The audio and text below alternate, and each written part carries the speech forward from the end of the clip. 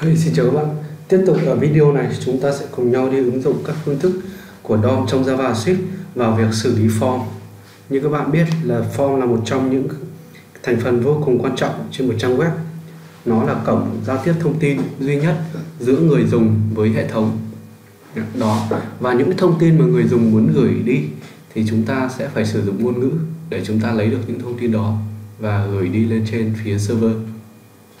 Và trong JavaScript nó sẽ cung cấp cho chúng ta những cái phương thức để chúng ta lấy được những cái ừ, thông tin mà người dùng nhập vào form trong ờ, uh, JavaScript. Ok, để các bạn hiểu rõ hơn về vấn đề này, tôi sẽ có một cái ví dụ như sau. Thì đầu tiên chúng ta sẽ tôi sẽ có một cái listen là listen 10 đây. Tôi sẽ tạo ra một cái file document document chấm đây. Thì các bạn biết là thì các bạn biết là đối với form thì chúng ta sẽ có các thành phần như là input như là checkbox radio box radio box, hay là chúng ta có select text array cho phép người dùng nhập nhiều thông tin. Đó, thì đây là những thành phần cơ bản trên một form hay là sự kiện là bút cần. Đó. Thì làm thế nào để chúng ta có thể thì đối với những cái thành phần trên form này nó cho phép người dùng uh, nhập vào nội dung thông tin này. Chọn. Hai cái này là để chọn một cái thông tin nào đó. Cái này cũng là để chọn một thông tin nào đó. Cái text ori là để nhập thông tin vào. Và cái button này là cho phép người dùng uh, có những hành động như là gửi đi hay là nhấn đăng ký đó, kiểu như vậy. Thì tất cả những cái hành động của người dùng tác động lên trên những input này thì trong JavaScript nó đều có những phương thức để chúng ta có thể handle được cái việc đó, để chúng ta có thể bắt được những cái việc đó. Thì bây giờ, để các bạn hiểu rõ hơn, tôi sẽ có một cái demo như sau. Tôi giả sử tôi có một cái example 1 html tôi sẽ tạo ra một trang HTML ví dụ tôi sử dụng cho trường hợp là input và text array vì hai cái này sẽ giống nhau. Đây. Tôi giả sử tôi có một cái form với, trên màn hình tôi có một cái input như thế này. Đây là cái input của form. Và tôi sẽ đặt một cái ID ví dụ tôi để là name. Đó. Và tôi có một cái div tôi có ID là result result như thế này. Tôi chạy cái trang này lên. Đây.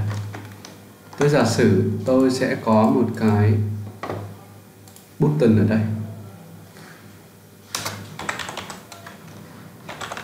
Button, tôi có một cái tách là ví dụ như là hiển thị hiển thị đó. Thì cái demo của tôi tôi muốn làm ở đây đó là khi người dùng nhập, ví dụ như học, nhập môn C chẳng hạn, nhấn hiển thị thì nó sẽ hiển thị xuống dưới này. Thì tôi làm như sau.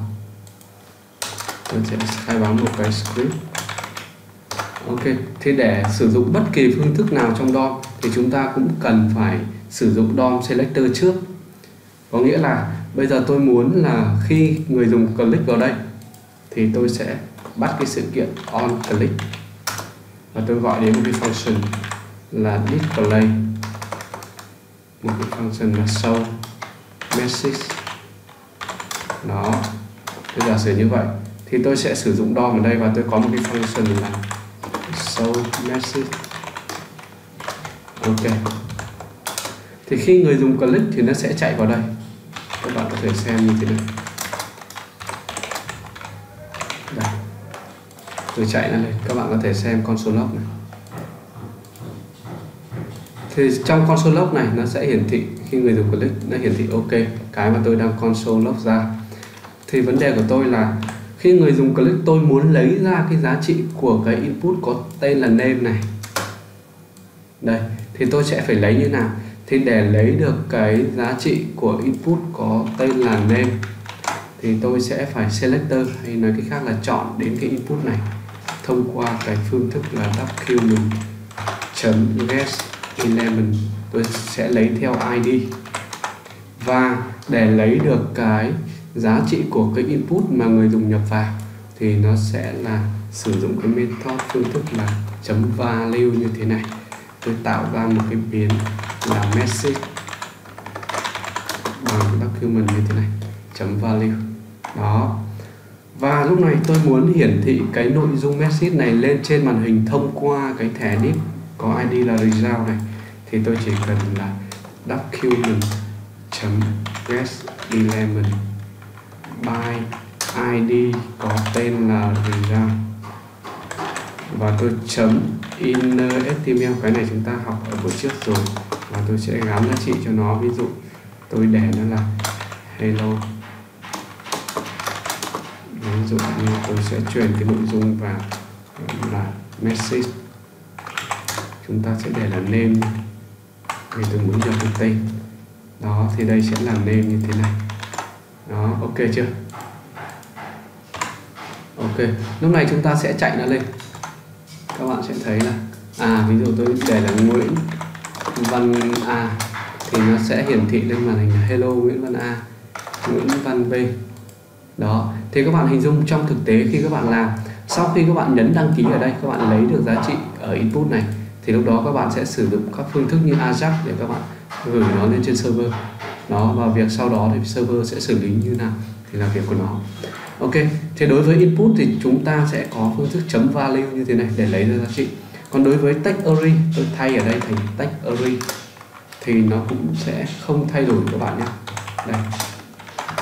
Tôi giả sử tôi thay ở đây thành tech array thì lúc này chúng ta sẽ có thẻ tech array với id là như thế này. Tôi chạy ra lên. Này đó. Tôi nhập ví dụ như là, xin chào Nguyễn. Sinh Hùng.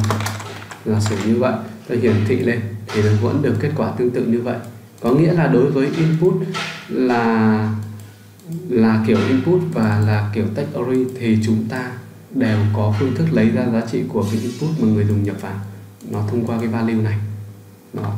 Ok chưa? Đây. Đó. Còn trường hợp đối với select box thì sao?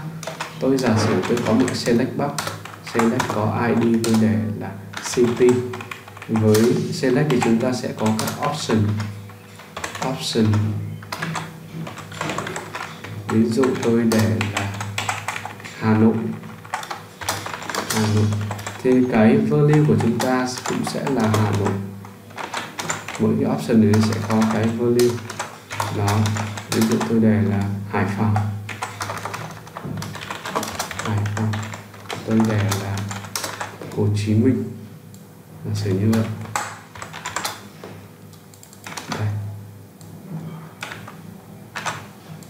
Hải Phòng đây. vậy thì tôi sẽ có một cái div để tôi hiển thị ra thông tin thành phố nữa.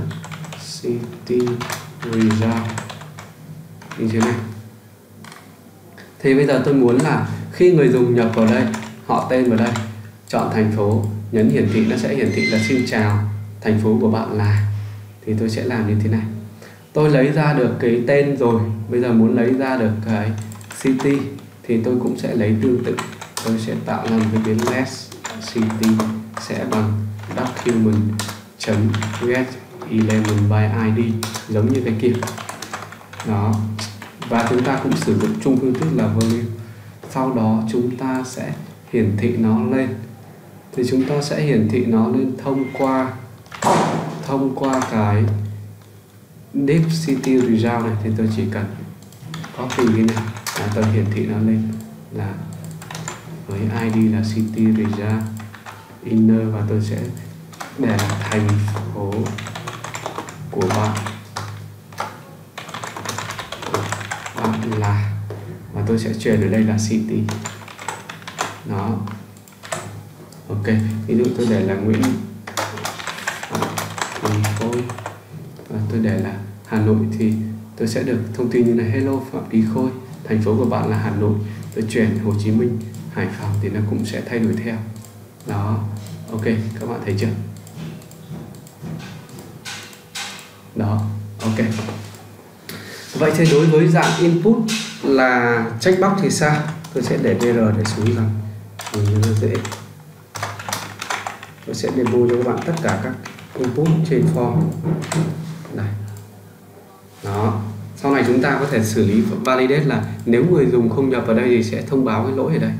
Đó, các bạn có thể xem phần quản lý sinh viên ấy, thì các bạn sẽ thấy phần đó tôi làm rồi. Đó, bây giờ nếu input của nó là checkbox thì sao? Tôi giả sử tôi có một cái input checkbox ví dụ như là tôi có một cái radio. Input là radio. Input có ai là radio? Tôi để id của nó là male value tôi sẽ để nữ. À, nam chứ. Đây sẽ là nam. Và tôi sẽ có cái value của nữ thể hiện cái giới tính đó. Đó tôi sẽ để id như thế này đây, chúng ta sẽ chạy lên.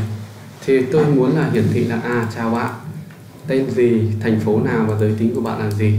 Thì tôi sẽ có một cái, tôi sẽ dùng chung ở đây đi, một cái result này. Thì tôi sẽ không phải khai báo nhiều lần như thế này nữa. Và tôi sẽ nối cái nội dung này lại với nhau. Để đơn giản hơn. Đây. Hello. Chào bạn này. Nó, bạn ở đâu? Thành phố của bạn là kiểu như vậy. Tôi sẽ để br đây. Đó. Ví dụ này, tôi để phạm vi côn hà nội thì vẫn được kết quả như như vậy.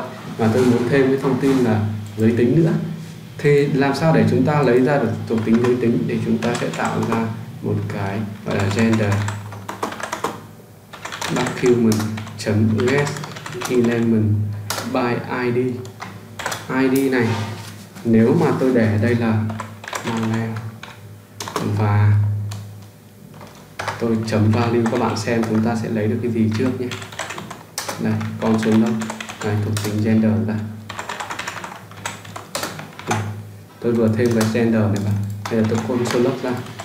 Đó, nếu mà tôi chạy bình thường như thế này, thì mặc định sẽ lấy là nam. Mặc định lấy là nữ. Đó nhưng các bạn nên nhớ là ở đây, cái này của chúng ta sẽ phải để lên giống nhau là gender.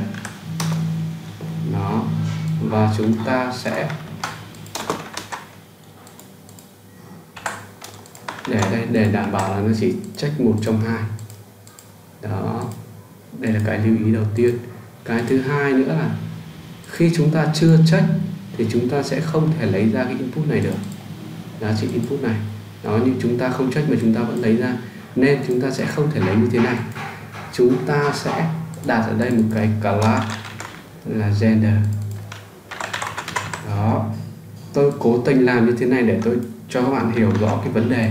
Nếu mà chúng ta chỉ định thì mặc định chúng ta lấy được cái giới tính ở đây mà người dùng không cần chọn. Vấn đề của chúng ta ở đây đó là đây, tôi sẽ đổi lại là query selector. À, à rồi nên là hai chấm checkers đây. Nó thì các bạn thấy là tôi đã lấy ra được.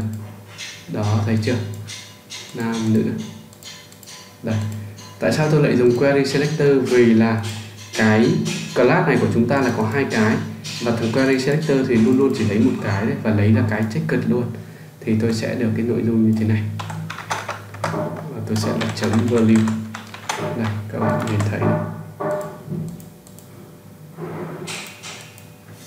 đó chúng ta chưa console log ra. Tôi sẽ console log ra để các bạn xem trước đã. Đó, thì tùy từng bài toán mà chúng ta sẽ làm một cái cho nó phù hợp. Đây, tôi check. Đó, tôi check. Ok chưa? Thì lúc này, tôi sẽ để thêm một cái yếu tố đây sẽ là giới tính của bạn. Là